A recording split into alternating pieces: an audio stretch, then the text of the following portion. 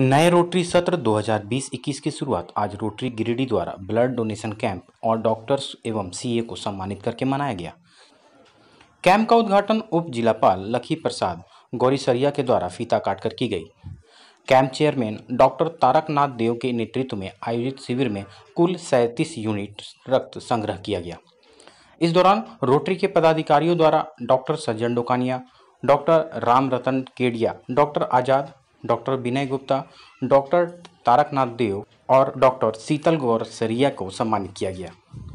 वहीं CA Vikas Bagaria, CA Praveen Barnwal और CA प्रकाश दत्ता को सीए दिवस के अवसर पर सम्मानित किया गया। सभी रक्तदाताओं को फ्लावर पॉट देकर सम्मानित किया गया। शिविर के सफल आयोजन में रोटरी गिरडी के नए अध्यक्ष राजन जैन, सचिव रवि चूड़ीवाला और शिविर के संयोजक डॉक्टर तारकनाथ देव का महत्वपूर्ण भूमिका रही।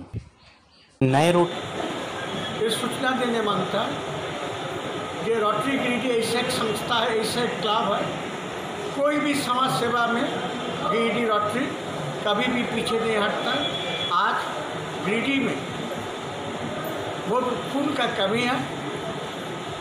खून का कमी का चलते जितना ऑर्गेनाइजेशन है बैंक है क्लब है स्कूल है कोई बात है कि हर साल की तरह इस साल भी जैसे नई टीम आती है तो बहुत सारे कार्यक्रम शुरू होते हैं, जिसमें पहला कार्यक्रम आज ब्लड डोनेशन कैंप किया गया है और जिसमें सारे हमारे मेंबर्स बढ़ चढ़ के भाग ले रहे हैं। मैंने भी अपना एक यूनिट ब्लड दिया है और मुझे आते देखकर मेरा बेटा भी उत्साहित हो गया और इसने भी अभी हमारे साथ ही एक यूनिट में अभी अभी ब्लड दिया है और हम लोग दोनों एक साथ अभी खून दे करके लौट रहे हैं।